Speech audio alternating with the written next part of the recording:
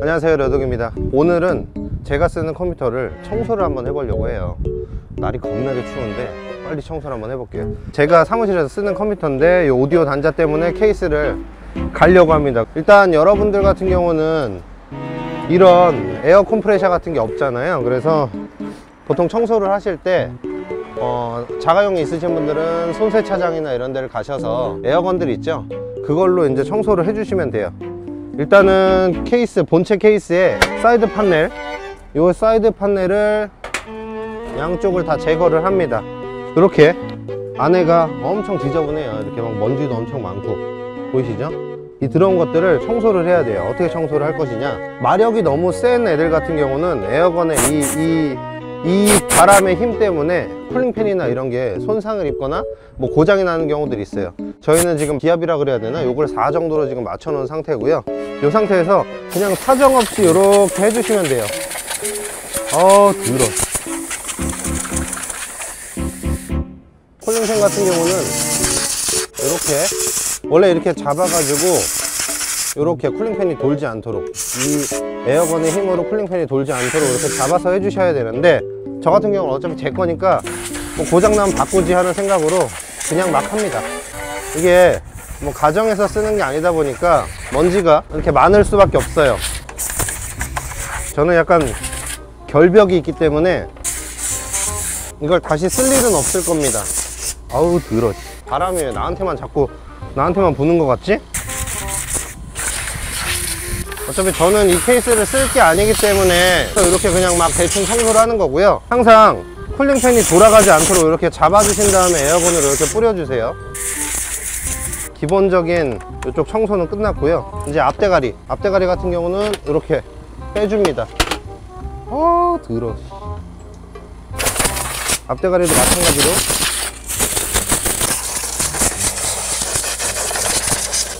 이렇게 청소를 하고 안 하고 케이스 가리 할 때 느낌이 완전 달라요. 어, 보이시나요 지금? 와 뭐. 이거는 이렇게 대충 청소를 한 다음에 저기서 갖다 버릴 거예요. 보통 한 1년에 한 번 정도?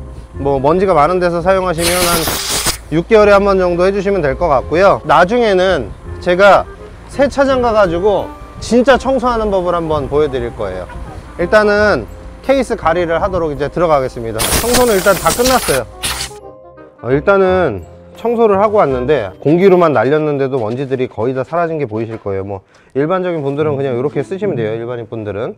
그러니까 저 같은 경우는 케이스를 가리를 할 거니까요. 요거 안에 있는 부품들을 다 분해를 할 거예요. 케이블들을 다 빼주신 후에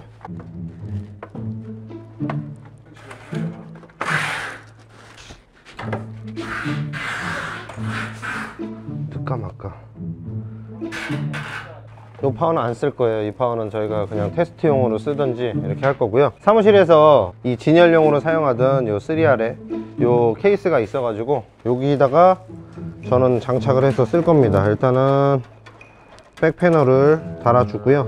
파워도 이 안에 있었던 걸 그냥 그대로 쓸 거예요. 엑셀리트 500W 제품이 들어가 있는, 있는데 제 거 컴퓨터기 때문에 선정리 뭐 이딴 거 필요 없습니다. 그런 거 절대 안 할 거예요. 그리고 케이블도 중요한 케이블들 빼놓고 나머지 케이블들은 다 그냥 뒤편에다가 다 짱박아 둘 겁니다. 제가 여러분들한테 이제 조립하거나 할 때 스탠드오프 이렇게 다 박아주라고 얘기하잖아요. 제 거는 스탠드오프 그딴 거 안 박습니다. 그냥 박혀 있는 대로 고장나면 버리는 거죠. 뭐 케이블도 그냥 되는 대로 그냥 달아주고 끝나는 거예요. 일단 이 케이스는 사무실에 진열돼 있던 건데 진열돼 있던 거 이렇게 청소를 한번 싹 해가지고 왔고요 여기다 그냥 지금 이렇게 지금 보시는 것처럼 조립만 하면 끝나요.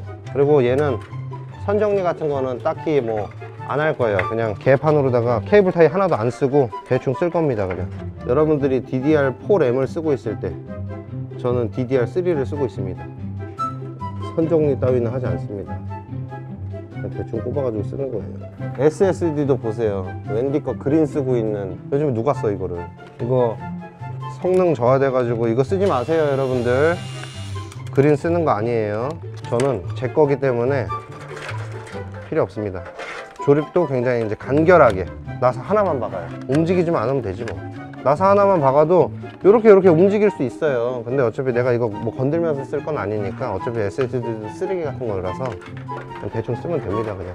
조립이 이제 거의 다 끝났어요. 참 쉽죠? 요거 나사를 안 조여주면 이 SSD 낄때 SATA 포트가 부러질 수 있어요. 부러질 수 있으니까 요거만 조심해 주시고. 어디가 1번이야? ODD를 장착을 해야 되는데 ODD도 보통 ODD 나사로 조이죠? 안 조여. 그냥 써. 하나만 조여. 끝. 이렇게 다시 나사 채워주고.